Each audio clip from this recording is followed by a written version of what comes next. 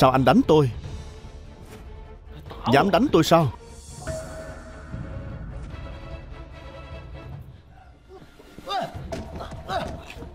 Anh điên rồi sao? Chuyện gì vậy? Chẳng phải hai nhà định bắt tay để mở rộng bản đồ kinh doanh sao? Sao lại đánh nhau rồi?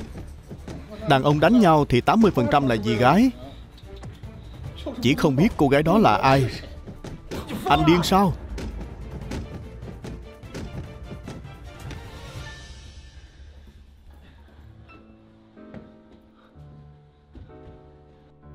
Sao anh đánh tôi?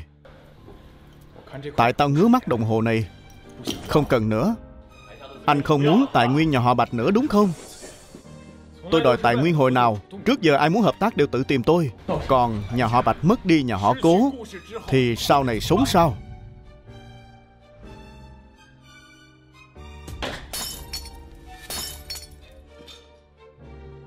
Xin lỗi nha, Anh cô. Đáng đời. Ai kêu ăn nói kiểu đó? Dù sao cũng là chú tôi không đúng Khi gây rối trong bữa tiệc của cô. Không được nói xấu anh ấy. Anh ấy đàn ông quá. Làm sao đây? Tôi càng yêu hơn rồi.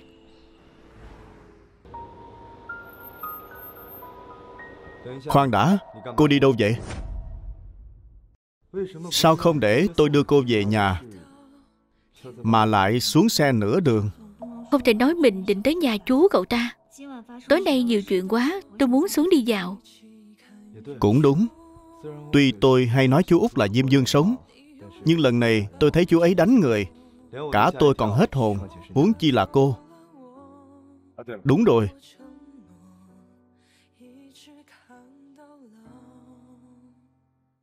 Đây là gì vậy?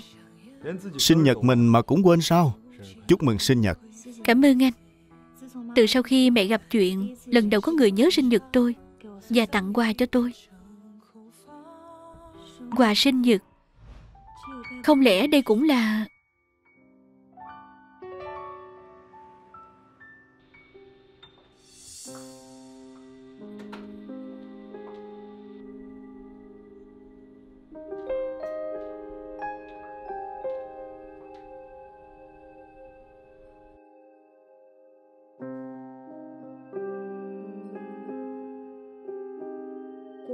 quà gì Dây chuyền là quà sinh nhật anh tặng tôi sao? Dù không phải, Tôi cũng muốn tùy hứng trong ngày sinh nhật. Không e ngại gì? Coi như anh cố tình chuẩn bị cho tôi.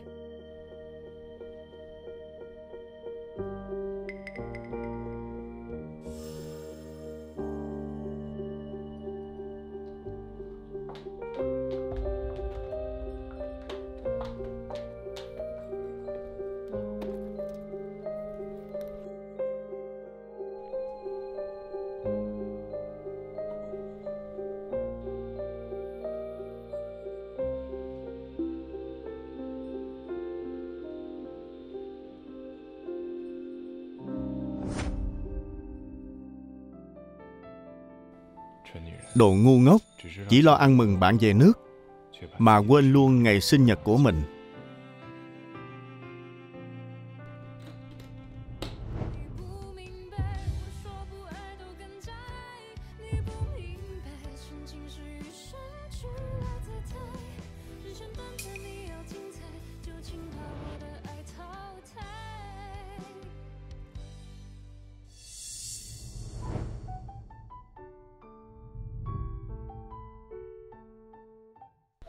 Bộ này đẹp không? Tôi lấy luôn bộ này. Bộ này cô mặc đẹp đó. Tôi mua cho cô, Không cần đâu. Nhan nhan, Người đẹp gì lụa mà. Từ chúng ta trời sinh đã đẹp, Nhưng mặc đồ đẹp mới càng nổi bật. Nhưng cô mua nhiều quá rồi. Đâu có nhiều. Bây giờ tôi phải cố gắng trưng diện Để bắt đầu kế hoạch theo đuổi. Kế hoạch gì vậy? Theo đuổi cố hoài chi? Cô chắc chắn không phải anh ấy thì không được. Tất nhiên rồi, tôi đã chịu anh ấy rồi. Trước đây còn nghĩ làm sao để tìm được anh ấy Để cô gặp anh ấy một lần. Bây giờ thì tốt rồi, không ngờ lại trùng hợp như vậy. Anh ấy chính là Cố Hoài Chi. Giang Giang, cô nói xem tôi và anh ấy có phải là duyên trời định hay không? Anh ấy là chú nhỏ tương lai của cô Vậy chắc là cô cũng rất hiểu anh ấy nhỉ? Cô cảm thấy anh ấy sẽ thích tôi không? Không biết nữa. Tôi và anh ấy không thân thiết lắm. Cũng đúng, Anh ấy trông có vẻ lạnh lùng thế mà. Rất khó tiếp cận. Thật khó tưởng tượng ra dáng vẻ anh ấy khi yêu. Vậy thì cô phải theo đuổi anh ấy. Chính vì khó tiếp cận, Cho nên tôi mới phải tấn công trước. Tận mắt chứng kiến cảnh anh ấy rơi vào tình yêu. Nhan nhan, Cô đừng trách tôi nhiều chuyện. Nhưng mà sao tôi cảm thấy Cô không thích cố diễn đó lắm nhỉ? Không phải là cô vẫn còn nhớ đến tên tra nam đó chứ. Đã hai năm rồi còn không có kết quả. Loại người đó không xứng để giao phó cả đời. Nhưng tôi không thể điều khiển được trái tim của mình. Anh ta hoàn hảo đến thế nào Mà khiến cô cứ nhớ nhung không quên vậy? Không lẽ còn hoàn mỹ hơn cả cố hoài chi sao? Anh ta chính là cố hoài chi, Không được đâu nhan nhan Cô phải quên anh ta đi. Cô sắp đính hôn với cố diễn rồi. Cô phải nắm lấy hạnh phúc trước mắt. Tôi sợ tôi không làm được. Không sao đâu nhan nhan Tôi sẽ giúp cô mà. Đợi cô và cố diễn đính hôn rồi Đợi tôi theo đuổi được cố hoài chi Hai chúng ta sẽ thành người một nhà. Mình và cố hoài chi trở thành người một nhà sao? Trời ơi nhan nhan Tôi lại quên xin số điện thoại của anh ấy rồi. Ừ. Nè Chắc cô có WeChat của anh ấy nhỉ? Thời gian tiếp theo đây, chúng ta sẽ đặt trọng tâm của công ty và việc phát triển đất đai ở Tây Thành. Đối với danh mục này, chúng ta sẽ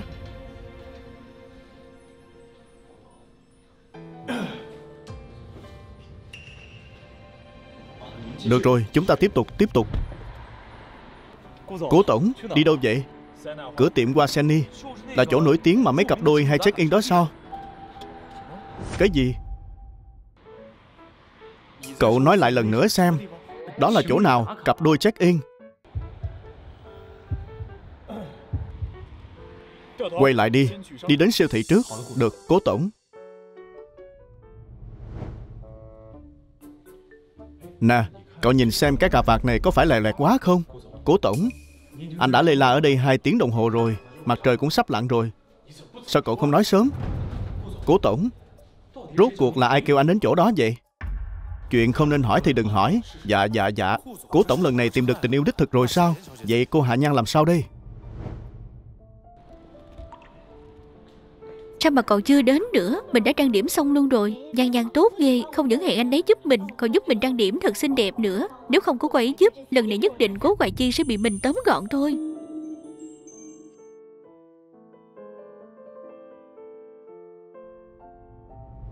Hạ Nhan Cô hẹn tôi đến làm gì? Anh đến rồi à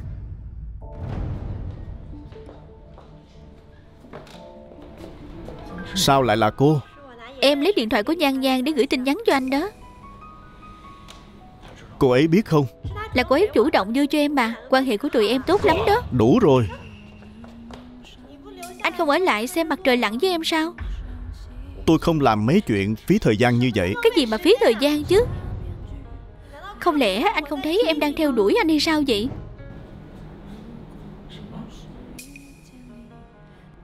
Em thích anh mà Từ lần đầu tiên gặp anh Em đã thích anh rồi.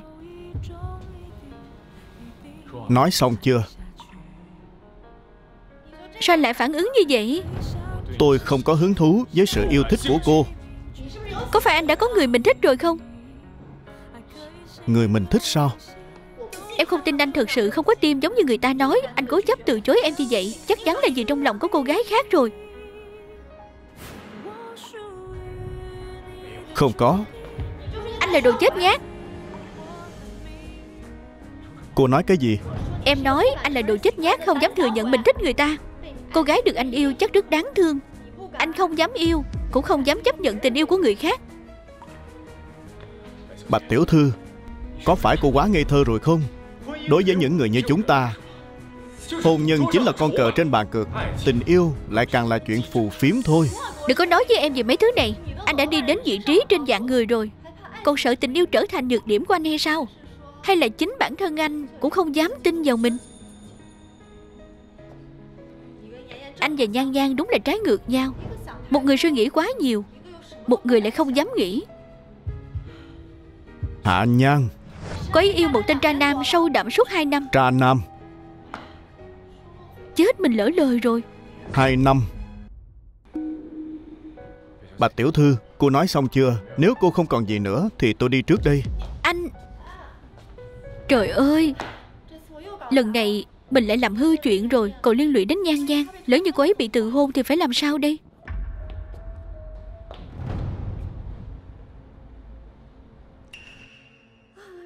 Thần Linh ơi! Hãy tha thứ cho tôi. Tôi thực sự tò mò muốn biết cô gái đó là ai, Mà có thể khiến cố Hoài Chi từ chối tôi. Tần suất liên lạc với số điện thoại này cao thật. Chắc chắn là của cô ấy nhỉ? Không biết Hiểu Mộng tỏ tình thành công chưa? Hiểu Mộng xuất sắc đến như vậy, Chắc cố Hoài Chi sẽ chấp nhận cô ấy thôi. Mình đúng là người bạn tồi tệ mà. Mình nên vui mừng cho cô ấy mới đúng, Sao lại cảm thấy mất mát thế này?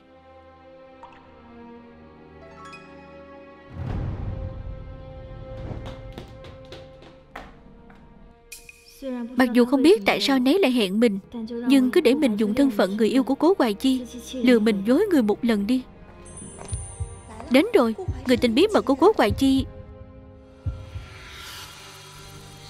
Là cô sao? Bây giờ Hạ Nhan ở đâu? Hả? Kệ đi Tự tôi gửi tin nhắn hỏi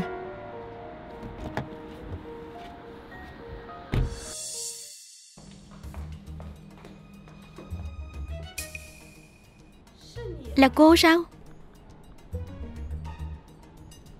Đừng nhìn nữa. Ở đây chỉ có tôi thôi. Đây là sao vậy? Tương truyền, Đôi tình nhân ở đây đang tay ngắm mặt trời lặn, Có thể bên nhau đến già. Tôi dùng điện thoại của cô để hẹn cố Hoài Chi. Anh ấy đến rồi. Cũng vừa từ chối tôi rồi. Tôi biết anh ấy có người mình thích, Nên mới nhặt điện thoại anh ấy làm rơi Tìm thấy số điện thoại đó. Tôi thật không phục. Giống dĩ tôi muốn đợi cô gái đó đến Sẽ ra qua với cô ấy, Nhưng tôi không ngờ cô gái đó lại là cô. Người bạn thân nhất của tôi.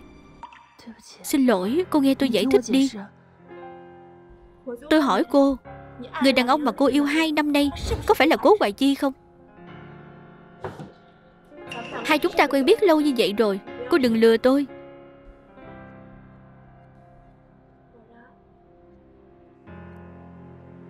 Xin lỗi. Tôi không phải cố ý muốn che giấu cô. Cũng chưa từng nghĩ đến sẽ làm tổn thương cô. Hiểu mộng.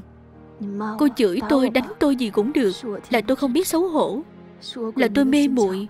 Cô muốn tôi làm gì để bù đắp cũng được. Làm gì cũng được sao?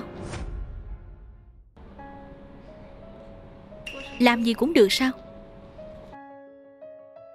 Vậy cô có thể dũng cảm hơn một chút. Dũng cảm theo đuổi cố Hoài Chi không? Cái gì mà không biết xấu hổ, mê muội chứ? Dứt hết mấy cái suy nghĩ đó đi. Cô có thể yêu bất cứ ai mà cô muốn. Trời đất ơi, Hai năm nay để cô phải chịu khổ một mình rồi. Tôi không biết gì cả, Cậu tranh giành khiến cô thêm phiền nữa. Tôi vẫn luôn tưởng cô yêu một tên tra nam, Cứ luôn lo lắng cho cô. May rằng đó là cố Hoài Chi. Cô không trách tôi hay sao? Tôi trách cô làm gì chứ? Đàn ông nhiều như vậy, Nhưng bản thân của tôi chỉ có một mình cô thôi. Thêm nữa, Cô còn yêu cố quậy Chi hơn tôi nữa không phải hay sao? Không được. Tôi sắp đính hôn với cháu trai của anh ấy rồi. Vậy thì không đính hôn nữa là được. Tôi biết rồi, Có phải mẹ con Hạ Minh Nguyệt lại ép buộc cô hay không? Cô đừng sợ, tôi sẽ thay cô trong chừng bọn họ. Cảm ơn cô, hiểu mộng. Tôi không có tư cách yêu anh ấy. Tôi là người câm mà. Cô đừng nói mấy lời tự tin như vậy. Vừa nãy tôi nhìn ra rồi. Cố Hoài Chi anh ấy rất để ý tới cô. Nhan Nhan Cô nhất định phải dũng cảm. Bạch tiểu thư Điện thoại của tôi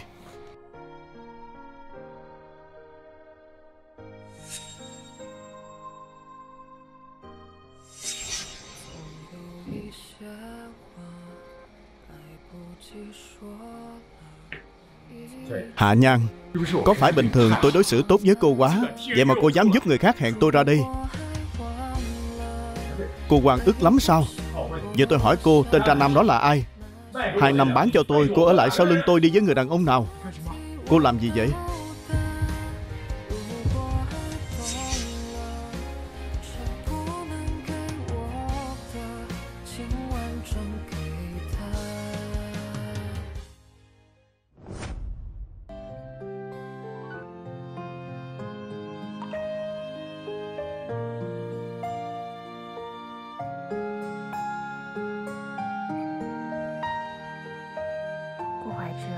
Hoài Chi Tại sao hôm đó anh lại động thủ với Bạch Hạo Vũ? Em nói xem. Là bởi vì em sao?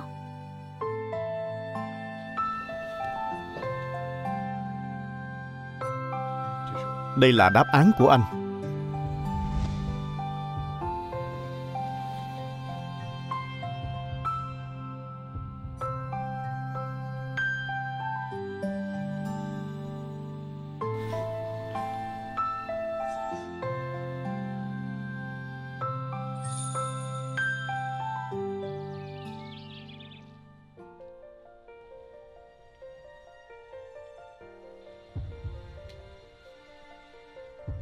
Tối đợi anh về ăn cơm.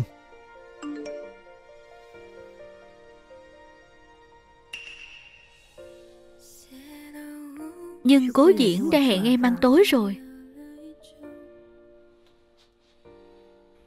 Thế nào? Em muốn cho anh leo cây à? Anh đừng có không vui. Em muốn nhân cơ hội này nói rõ. Em sẽ không đính hôn với cậu ấy nữa Phải vậy chứ?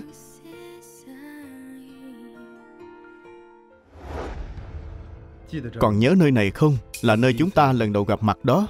Cố diễn Hôm nay tôi đến đây Để nói một chuyện với cậu. Chắc không phải để xóa bỏ hôn ước với tôi chứ. Sao cậu biết? Tôi còn biết. Cô với chú nhỏ của tôi Không chỉ là quan hệ nhân viên với ông chủ bình thường. Hai người Đã ở bên nhau từ lâu rồi. Hồi trước tôi đã nói với cô rồi Ánh mắt của cô không biết nói dối. Tôi nhìn ra được sự kháng cự của cô đối với tôi Và sự chất vấn của chú Cố Hoài Chi. Vậy cậu trước kia Tôi giả ngốc cũng giỏi lắm đó. Thực ra Tôi cũng rất muốn đính hôn với cô. Tại sao? Rõ ràng cậu biết tôi yêu Cố Hoài Chi. Cô biết tại sao ba mẹ tôi qua đời không? Mười năm trước Họ tổ chức một bữa tiệc riêng tư. Em trai của ba tôi Cũng chính là chú nhỏ cố hoài chi của tôi. Lén lút đi theo Kết quả cô đoán xem thế nào. Bữa tiệc còn chưa bắt đầu. Căn biệt thự đột nhiên bốc cháy không rõ nguyên nhân. Kết quả thì sao? Chỉ còn một mình cố hoài chi sống sót trở ra. Anh nghi ngờ cái chết của ba mẹ anh Có liên quan đến cố hoài chi sao? Mọi người đều nói như vậy hết Dù sao thì ba mẹ tôi cũng chết thật rồi. Không phải sao? Sau khi ông rời chức Cố thị chỉ còn một mình chú nhỏ của tôi. Sao có thể? Chắc chắn là có hiểu lầm gì rồi. Cô khoan hẳn phủ nhận tôi. Tôi nhắc cho cô nhớ một chút. Mười năm trước Biệt thự tư nhân bốc cháy. Nhớ ra gì chưa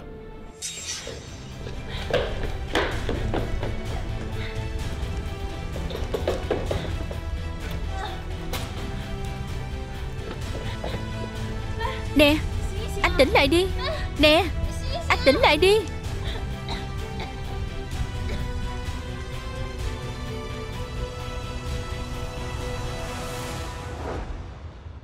Hà tiểu thư, Cô hít phải quá nhiều khói. Thân thể gặp thương tổn nghiêm trọng. E là sau này không thể nói được nữa. Còn nữa, Lúc chuyện xảy ra, Ba mẹ cô là phụ bếp ở trong nhà bếp. Mặc dù có thể giữ được mạng sống, Nhưng việc điều trị kéo dài. Khi nào mới tỉnh Thì vẫn chưa nói được. Người khiến cô mất đi giọng nói để cứu ra ngoài Chính là chú nhỏ của tôi, Cố Hoài Chi. Sự cố lần đó không chỉ lấy đi giọng nói của cô, Còn khiến ba mẹ cô nằm liệt giường đến tận bây giờ. Khi nào tỉnh lại, Có thể tỉnh lại hay không Đều không thể nói trước được. Cố Hoài Chi chính là hung thủ phía sau sự cố lần đó, Mà hạ nhan cô Cô lại cứu một tên ác quỷ. Chuyện được cười hơn là cô lại yêu tên ác quỷ đó. Đừng nản lòng. Ai mà chưa từng yêu phải người xấu chứ? Quan trọng là Phải biết quay đầu là bờ. Cậu muốn nói gì? Cô tiếp tục hợp tác với tôi. Tôi dựa vào đâu để tin tưởng anh? Hạ Nhan Cho đến bây giờ Nguồn gốc của tất cả đau khổ mà cô chịu Đều là do chú nhỏ của tôi Cố Hoài Chi. Tôi không tin cô Không muốn báo thù. Mà tôi thì sao Tôi cũng thay ba mẹ tôi đợi ngày này rất lâu rồi. Cậu muốn tôi làm gì? Đơn giản lắm. Đồng ý đính hôn với tôi Ở tiệc mừng thọ ngày mai. Hạ Nhan Đừng có làm nàng tiên cá tự mình cảm động nữa. Mất đi giọng nói và người nhà Đổi lại chỉ có bọt biển hư vô. Nghĩ đến ba mẹ chưa rõ sống chết của cô kìa Nên làm gì? Cô phải rõ ràng hơn tôi cả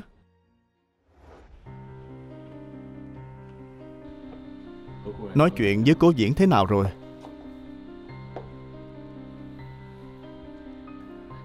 Sao vậy? Em muốn hỏi anh một chuyện. Em nói đi. Cố diễn cậu ấy. Thôi bỏ đi Không có gì đâu. Em sợ cố diễn không đồng ý à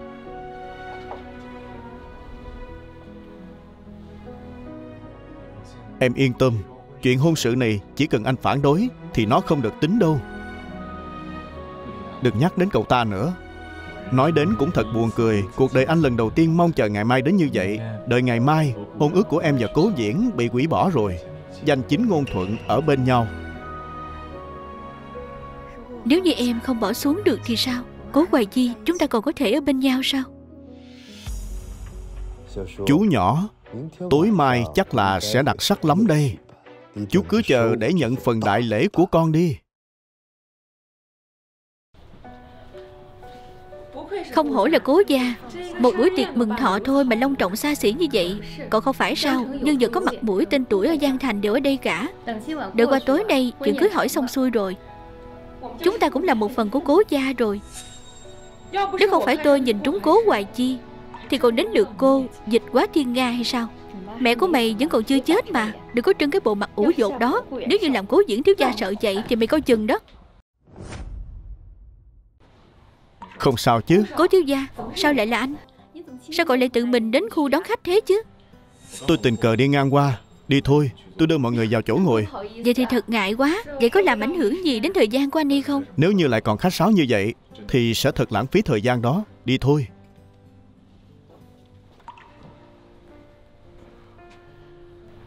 Anh căn bản không phải là tình cờ đi ngang qua Mà là anh muốn gặp em. Cô còn lề mề ở đó làm gì? Đừng làm ảnh hưởng thời gian của cố thiếu gia.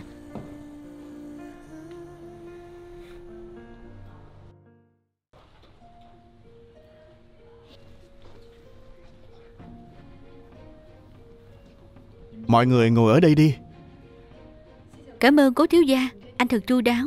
À Hoài Chi à Bây giờ con có sự nghiệp rồi Là một nhân tài Thì chuyện chung thân đại sự cũng phải nhanh lên đi. Cảm ơn chú Dương Con vẫn đang sắp xếp. Là con gái nhà ai có phúc như vậy?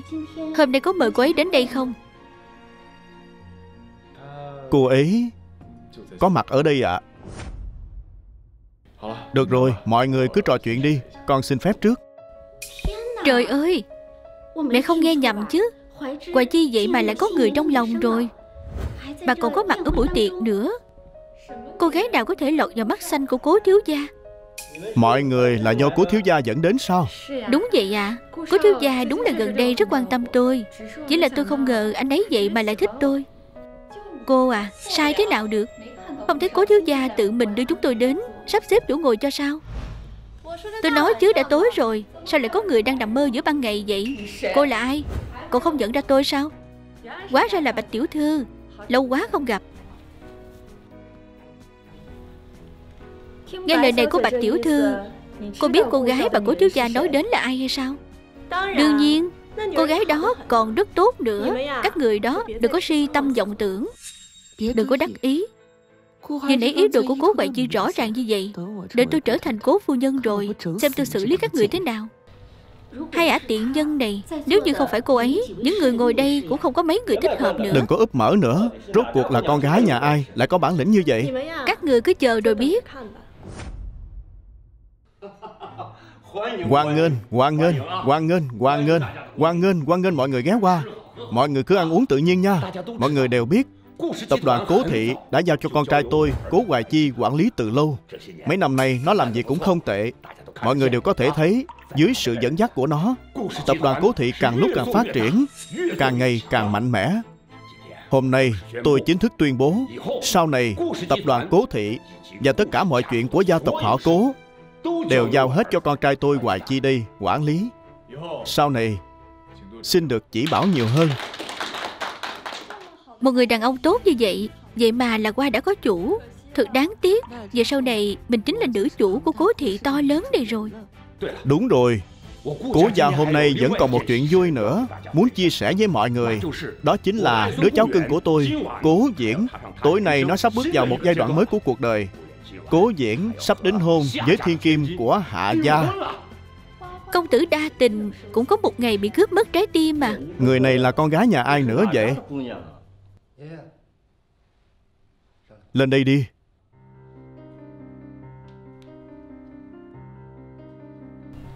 Còn ngơi ở đó làm gì nữa? Quá ra cô ấy chính là vị hôn thê của cố diễn. Cứ ngồi im lặng ở đó Ngoại trừ cô ấy ra. Người mà cố ngoại chi thích không lẽ thật sự là cô? Tôi đã nói rồi. Là các người không tin.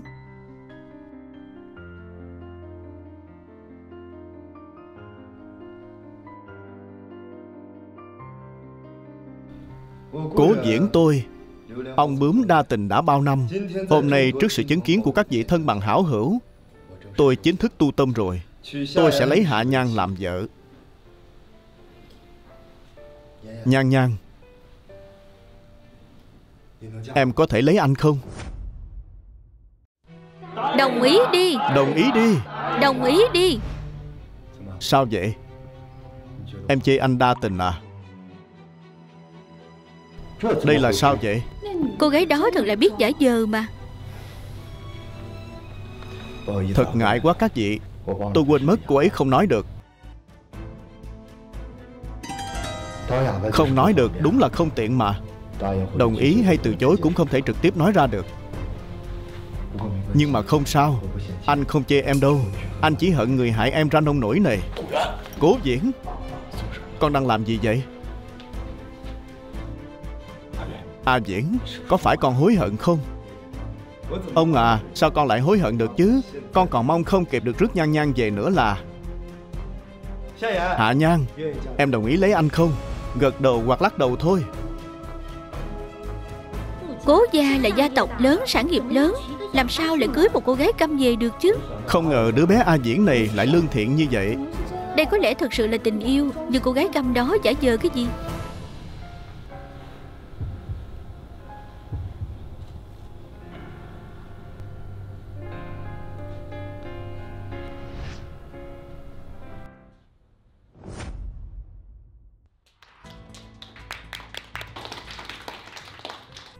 A Diễn, Tiểu Nhan, Lại đây nào. Nếu mà hai đứa tình đầu ý hợp, Vậy thì chọn ngày lành tháng tốt để tổ chức đám cưới đi. Sau này phải sống cho hạnh phúc đó. Đừng để chú nhỏ của con phải lo lắng nữa. Đó là tất nhiên. Con còn muốn mời chú làm người chứng hôn cho con nữa. Nhan Nhan, Em nói xem có được không? Hạ Nhan, Em có biết bản thân đang làm gì không? Em rất rõ ràng. Mới không thể để bản thân tiếp tục yêu anh. Hoài Chi Con đang làm gì vậy? Nhìn chú nhỏ không được vui lắm nhỉ? À Hay là chú không hài lòng Vì đứa cháu như con Lại xong việc hôn nhân đại sự trước một bước rồi? Nghe nói chú cũng có người mà mình thích rồi Mà cũng có mặt ở đây nữa. Hay là cùng mời cô ấy lên đi Chúng ta cùng chúc mừng song hỷ lâm môn. Cố diễn. Cố diễn muốn làm gì vậy Không phải nói mình nhận lời cầu hôn của cậu ấy là được sao? Hoài Chi Là thật sao? Con có người mình thích rồi sao? Là con cái nhà ai vậy? Ở đây ở đây. Bây giờ mẹ em vào đứng chung với mọi người Thì cũng không hay lắm nhỉ? Hạ Minh Nguyệt tiểu thư sao? Không phải. Vậy để con đoán xem. Cô gái mà chú thích là ai thế? À Con biết rồi. Trời ơi mau nhìn kìa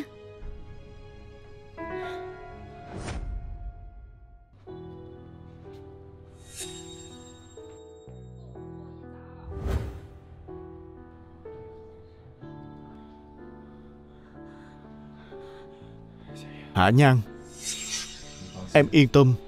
Hôn sự này chỉ cần anh không đồng ý Thì sẽ không tính. Là anh có phải không? Không phải Hoài Chi. Đây là chuyện gì? Chú à Nói thế nào Nhan Nhan cũng là cháu dâu của chú. Các người như vậy là loạn luân đó. Mẹ ơi nhìn kìa. Chuyện gì vậy? Chú với vợ của cháu mình ở với nhau rồi Là tôi xem thường cô gái câm đó rồi. Đúng là hồ ly tinh chuyển thế mà. Cháu với chú dùng chung một người phụ nữ. Nhà giàu đúng là lắm tật mà. Chú Có phải chú nên cho con và mọi người Một lời giải thích không? Hoài Chi à Hoài Chi Con nói thật cho ba nghe Chuyện này rốt cuộc là sao hả?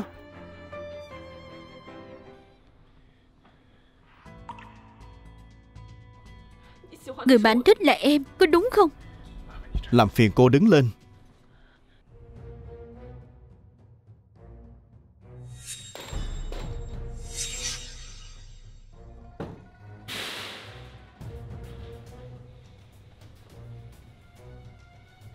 Không phải các người tò mò cô gái của tôi là ai sao? Vừa nãy nhìn thấy rồi, Sao lại ngạc nhiên như vậy? Hoài Chi,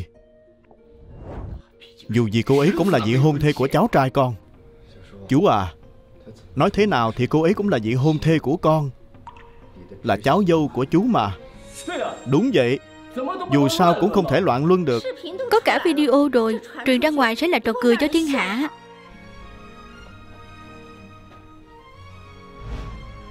Kết hôn rồi cũng có thể ly hôn. Huống chi chỉ là đính hôn Còn chưa xem bát tự nữa mà. Trai chưa vợ gái chưa chồng. Ở đâu ra mà loạn luân?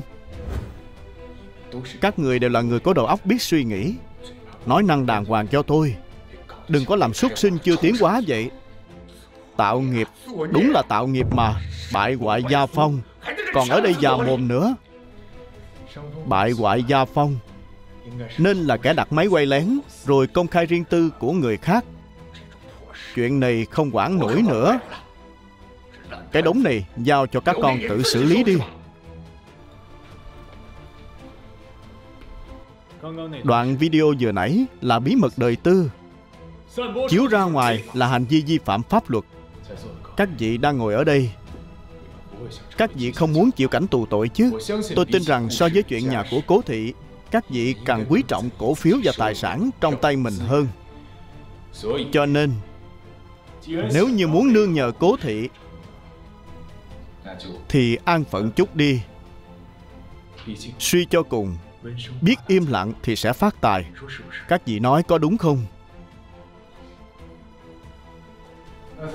Vậy thì mong chúng ta hợp tác vui vẻ.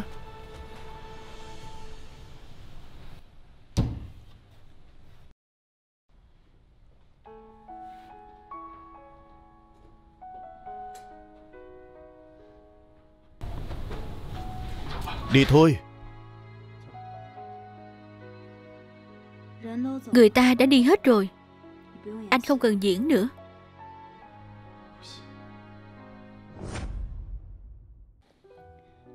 Cố thiếu gia anh là nhân vật tầm cỡ nào Mà người khác dám quay lén anh? Bày mưu tính kế với anh hả?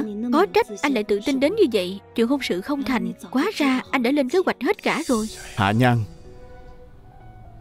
Trong lòng em Anh chính là người như vậy sao có lẽ tôi chưa từng hiểu được anh thật sự.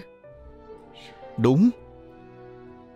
Anh đúng thật là sẽ trăm phương ngàn kế nghĩ cách để ngăn cản em và cố diễn kết hôn Nhưng tuyệt đối không thể dùng cách hại mình hại người như vậy được. Anh không có hèn như vậy. Anh kêu tôi làm sao tin anh đi Anh là hung thủ giết người. Hung thủ giết người gì chứ? Trận quả quạng 10 năm trước đó anh đã giết không chỉ anh ruột của mình Mà còn sát hại rất nhiều người vô tội. Em làm sao biết chuyện đó vậy? Mẹ tôi vì để kiếm tiền học phí cho tôi Nên đã đi làm phụ bếp cho người ta. Sau khi biệt thự xảy ra quả quạng Tôi còn chưa cứu được bà ấy Là cứu nhầm người gây ra chuyện đó. Còn vì chuyện này mà hít vào một lượng lớn khói độc Cho nên không thể nói được nữa. Cô gái cứu anh ngày hôm đó Là em sao phải thì thế nào? Trên tay anh đã vấy máu bao nhiêu người? Tôi còn luôn nghĩ, Có phải là tôi đã làm sai rồi không? Có phải là tôi yêu sai người rồi không? Trước giờ anh không thích phải giải thích gì cả, Nhưng mà Hạ Nhan Anh đảm bảo với em Vụ quả quạng năm đó không liên quan gì đến anh cả, Mà sau khi anh tỉnh lại, Anh có đi tìm em. Hạ Nhan Rốt cuộc em muốn anh làm thế nào Thì em mới tin anh đây? Tôi sẽ không tin anh nữa. Tôi hận anh. Được. Vậy bây giờ anh sẽ cho em cơ hội. Em giết anh đi. Anh tưởng là tôi không dám sao